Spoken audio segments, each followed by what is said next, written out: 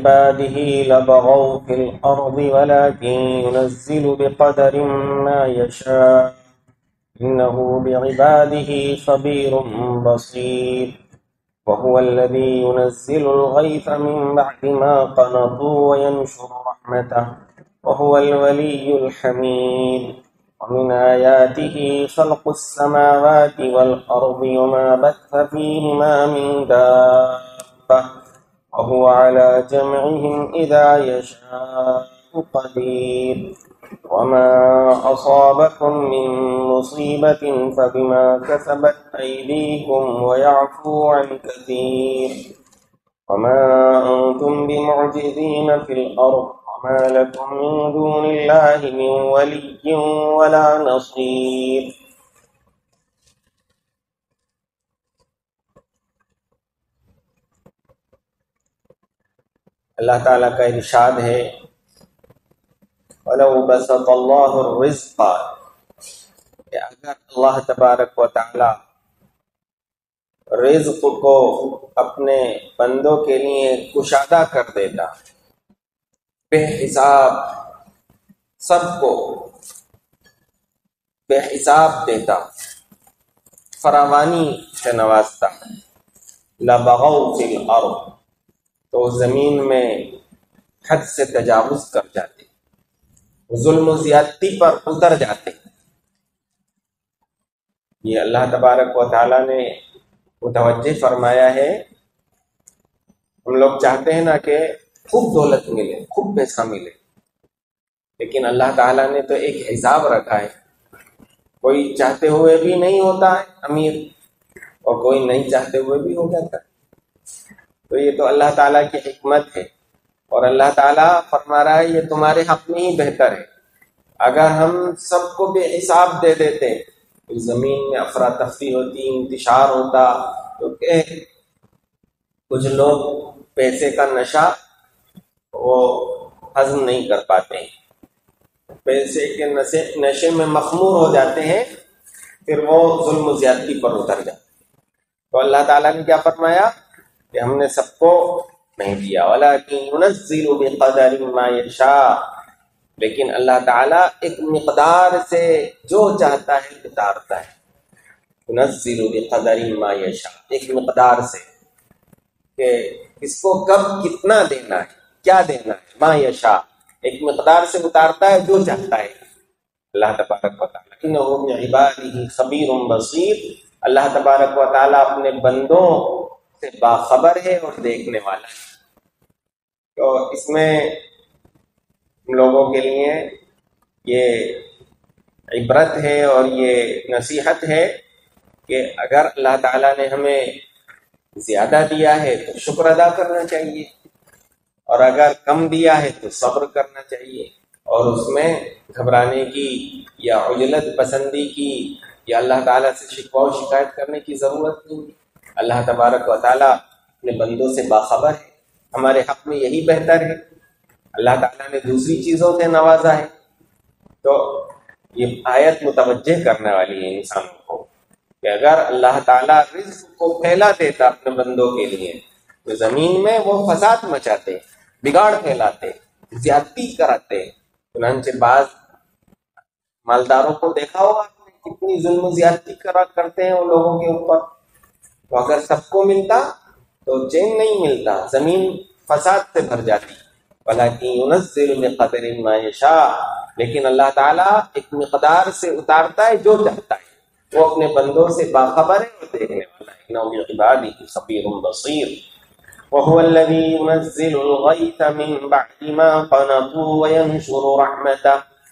वही अल्लाह है जो बारिश नाजिल फरमाता है जबकि बंदे मायूस हो चुके होते हैं इसके बाद, और फिर अपनी रहमत फैला देता है, अपनी रहमत को वसी कर देता है, चारों तरफ़ अपनी रहमत की चादर तान देता है। और वो अल्लाह ताला काम बनाने वाला है और काबिल तारीफ़ है। तो कैद चाली होती है बाज मरतबा कैद छा जाता है किसी इलाके में, और भुखमरी और फक्र फाका दाना नहीं होते, बारिश नहीं होती है, और ऐसी मायूसी की कैफियत होती है कि किसान मायूस हो जाते हैं, ताजिर मायूस हो जाते हैं, और शहरी हो के देहाती हो, सब परेशान हो जाते हैं। फिर अल्लाह तबारक व ताली फिर मूसलाधार बारिश नाजिल फरमा देता है, मायूसी के बाद। तो अल्लाह ताला कारसाज है काबिल तारीफ़ है, मायूस होने की ज़रूरत नहीं है। अल्लाह तबारक व ताली ने बंदो के मायूस होने की कैफियत में मदद फराहम कर देता है। खैर उस बारिश को कहते हैं जो बिल्कुल इंसानी मदद के लिए आती है, कि उस वक्त जब बहुत ज़रूरत थी, तब आती है। तो वो अल्लाह ही है जो काइस नाजिल करता है मायूसी के आलम में। और इसी तरीके से अगर कोई इंफरादी आदमी है, वो भी इसी तरह से मायूसी के आलम में है, परेशान है सोच रहा है क्या करूँ चारों तरफ़ से अंधेरा ही अंधेरा छाया हुआ है। फिर अल्लाह ताला वो गैस नाजिल फरमा देता है, उसके लिए मदद आ जाती है अल्लाह ताला की तरफ़ से। और वो दरवाजे खुल जाते हैं अल्लाह ताला की तरफ़ से। तो अल्लाह ताला मायूसी के आलम में अल्लाह मदद फरमाने वाला वो कारसाज काबिल तारीफ़ है वही है जो मूसलाधार बारिश ऐन ज़रूरत के वक्त नाजिल फरमा देता है। बंदों के मायूस होने के बाद रहमता और अपनी रहमत को आम कर देता है। और वो वली और कारसाज और हमीद, यानी काबिल तारीफ़ है। अमीन आयाती अल्लाह ताला की निशानियों में से आसमानों की पैदाइश है ज़मीन की पैदाइश है। देखो अल्लाह ताला ने कैसे आसमान बनाए, सितारों वाले, चाँद वाले, सूरज वाले आसमान, और कैसी ज़मीन बनाई अल्लाह तबारक वाली और जो अल्लाह ताला ने चौपाए फैला दिए हैं, कैसे कैसे चौपाए इंसानों के काम आते हैं, इंसानों के लिए सवारी के काम आते हैं दूध देते हैं, इंसानों को गोश्त देते हैं, गोश्त फराहम करते हैं, इंसान उनका गोश्त खाते हैं, उनके बालों से ऊन बनाते हैं तो वापस ईमानदा ये सब अल्लाह ताला की निशानियाँ हैं। ये किसने बनाई है? ये और कौन बना सकता है अल्लाह ताला के अलावा? ये अल्लाह की निशानियों में से है कि बंदे इनके ज़रिए से अल्लाह को पहचान सकते हैं। एक देहाती से पूछा गया कि माँ दलील अल्लाह ताला को पहचानने की क्या निशानी है? उसने कहा कि इन अलबारा इन आथारा लतदुल्लु अलल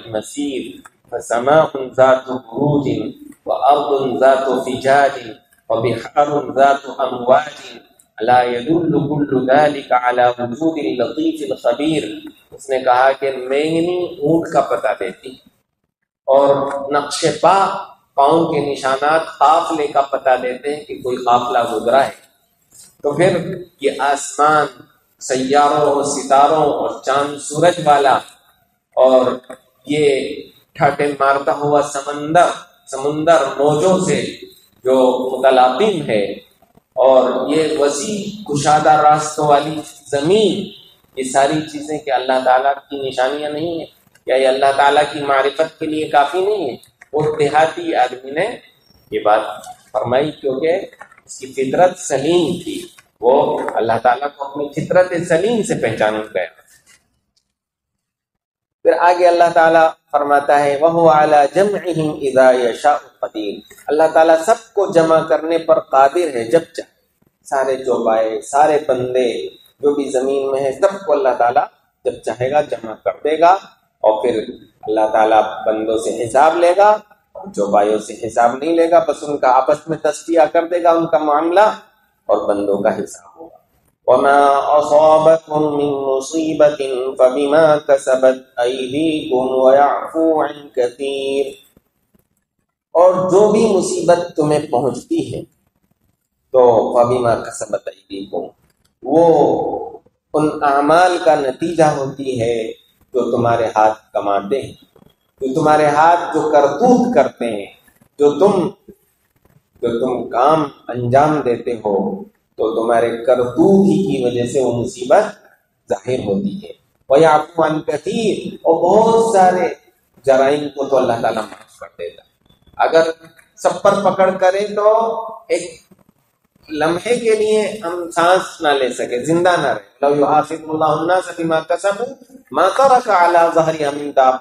अगर अल्लाह ताला बंदों की पकड़ करता, उनके तमाम अमाल पर तो ज़मीन पर कोई चौपाया बाकी नहीं रहता। इंसानों की नहूसत की वजह से अमाल की वजह से, ये सारी चीज़ें इंसानों के लिए फिर अल्लाह ताला खत्म कर देता है। लेकिन अल्लाह ताला माफ़ कर देता है। याकू अनकतीर अल्लाह ताला माफ़ कर देता है। और अगर पकड़ आती भी है तो फिर वो हमारे अमाल बद का नतीजा होती है। और वो भी क्या हमें तंबी के लिए आज भी जो हम लोग परेशानियों में मुबतला हैं वो क्यों है? क्योंकि हमारे बद अमाल बुरे अमाल हैं, जिनकी वजह से हमें अल्लाह तबारक व ताला ये मुसीबतें ये मुसीबतें अल्लाह ताला पहुँचा रहा है और इन मुसीबतों में गिरफ़्तार किया जा रहा है, आजमाइश के लिए भी है और तंबी के लिए भी है। अगर बंदे होश में आ जाते हैं तो फिर वो चीज़, वो मुसीबत फिर रहमत भी बन जाती है। तो इंसान को अगर कोई भी मुसीबत लाहिक आए तो उसको फ़ौरन ये एहसास चाहिए कि मेरी कमी है, मेरा कसूर है, इसकी वजह से ये सारी परेशानियाँ पेश आ रही हैं। अल्लाह की तरफ़ लपकना चाहिए, तोबा करना चाहिए। अल्लाह ताला फरमाता है, ये तुम्हारे अमाल का नतीजा होती है। और तुम ज़मीन में अल्लाह को हाजिज नहीं कर सकते, भाग नहीं सकते कहीं, कि तुम्हें पकड़ा ना जा सके।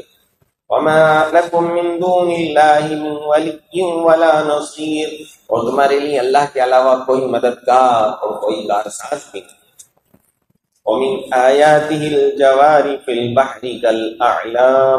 और अल्लाह की निशानियों में से समुन्दर में चलने वाली कश्तियाँ। और आजकल तो कितने बड़े बड़े बेड़े चलते हैं कल आलम पहाड़ों की तरीके से। कुरान कह रहा है जो कश्तियाँ समुन्दर में तैरती हैं, पहाड़ों की तरीके से वो अल्लाह की निशानियों में से अगर अल्लाह चाहे तो हवा को थाम दे तो वो फिर समुंदर के समुंदर के ऊपर वो रुकी रहे। क्योंकि पहले कश्तियाँ वो हवाओं की रहमत पर चलती थी। अल्लाह ताला हवाओं के ज़रिए से कश्तियों को चलाता था तो अगर अल्लाह चाहे तो हवा को रोक दे और फिर वो कश्तियाँ वो एक जगह रुक जाए। और अगर अल्लाह ताला चाहे तो ये जो हवाई जहाज़ उड़ रहे हैं, इनको अल्लाह तबारक व ताला उनका बैलेंस खत्म कर दे अल्लाह जैसे कि परिंदों के बारे में मायूम से रहमान के इनको अल्लाह ताला थामे हुए।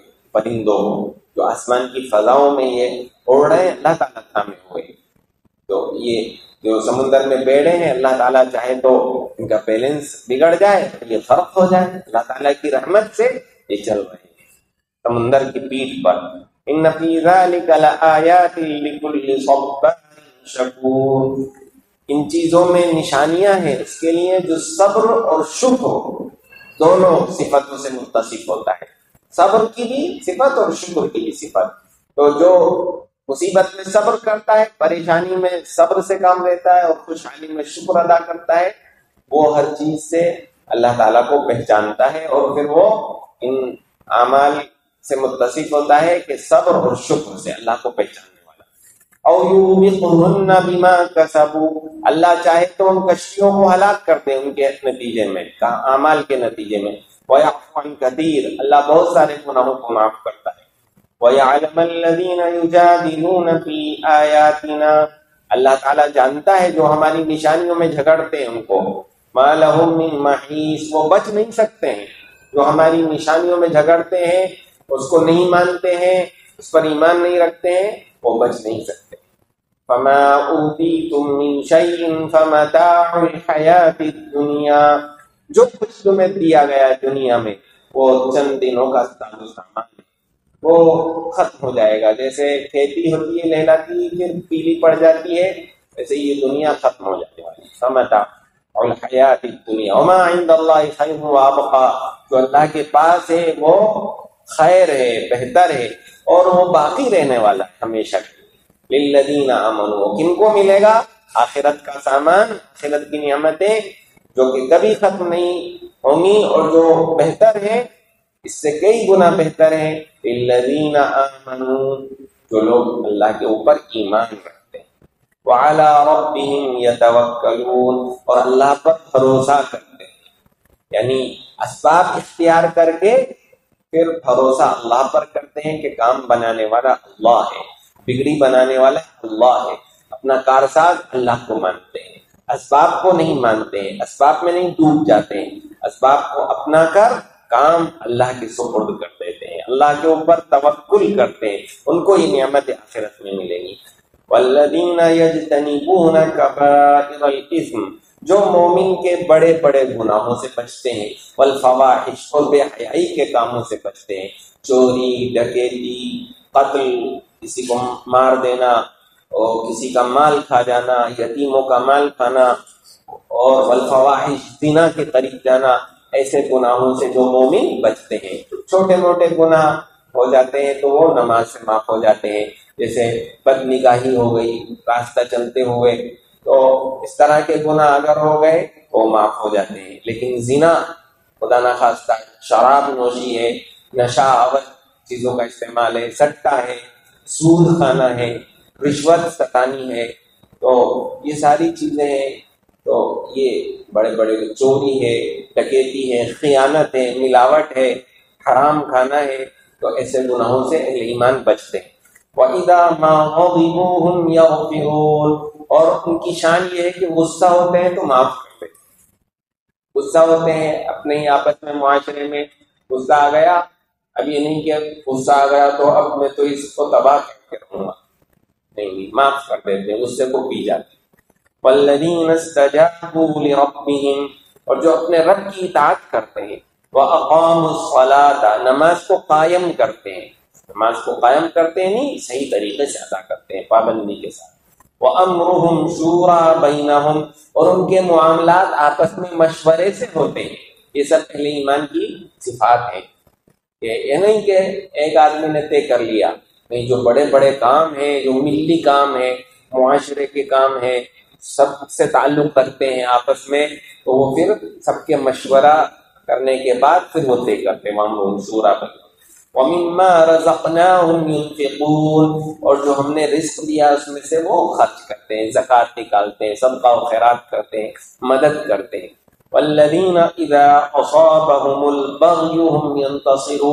और उनकी ये भी शान है कि जब जुल्म ज्यादती उनको होती है तो फिर इंतकाम भी ले लेते हैं।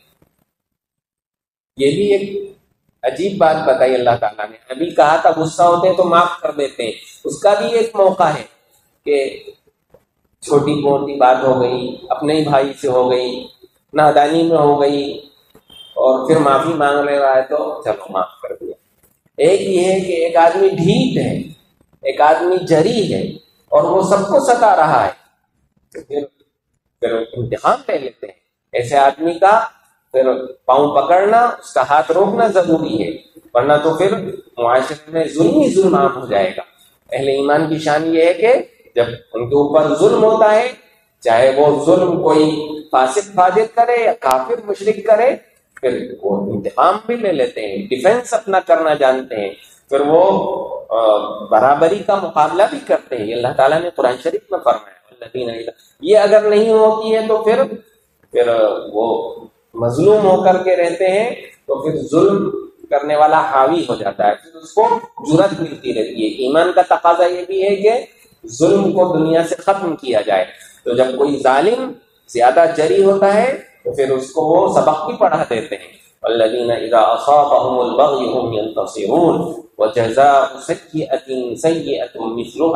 और बुराई का बदला वैसी ही बुराई है। अगर उसने तुम्हारा हाथ तोड़ा है तो फिर अब ऐसा नहीं कि उसका हाथ भी तोड़ दो, पाँव भी तोड़ दो। उसका भी हाथ तोड़ो से जितना किया है, उतना ही कहो। कुरान ये भी कह रहा है ये कुरान इंसाफ की बात कहता है। हद से ना गुजरना इंतकाम लेने में। जितना तुम्हारे साथ किया गया है, वैसी ही बुराई करो। फमन आफा व असलहा। अगर माफ़ कर देता है, इसलाह से काम ले लेता है कोई शख्स तो तो अजर मिलेगा। जुल्म करोगे, उसने कम किया है, उसने गाली दी है, और तुमने उसकी आँख ही फोड़ दी इसकी उसका दांत ही तोड़ दिया। तो फिर जालिमीन, अल्लाह ताला जालिम को पसंद नहीं फरमाता है। जितना है उतना ही बदला लेना है। जो अपने ऊपर जुल्म होने के बाद बराबर बदला लेगा फौलाई का सबील तो उसके ऊपर कोई मलामत नहीं है। उसके ऊपर कोई पकड़ नहीं है।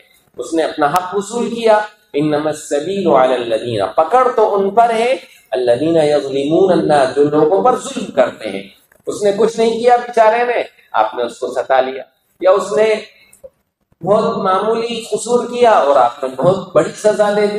तो जुल्म जो करते हैं वह फिल बगैर हक। और ज़मीन में जुल्म ज्यादती को और बगावत को बढ़ावा देते हैं, फरोग देते हैं, बगैर हक के। फिर अदाब अलीम, उनके लिए दर्दनाक अजाब है। वलमन सबर व गफरा, और जो सब्र से काम ले और माफ़ करे लोगों को इन उमूर तो ये हिम्मत के काम है। तो दोनों का अपना महल होता है कि इंतकाम कहाँ लेना है और माफ़ कहाँ करना है। हालाँकि माफ़ करने को अल्लाह ताला ने पसंद किया है, लेकिन अल्लाह ताला ने ईमान की शान ये भी बताई है कि अपना बदला लेना ये भी अहले ईमान की शान में दाखिल है। जब इसका मौका आए तो फिर वो भी करना ईमान के अवसाफ में से है। वो ईमान के खिलाफ नहीं है। अल्लाह ताला हमें समझने की कोशिश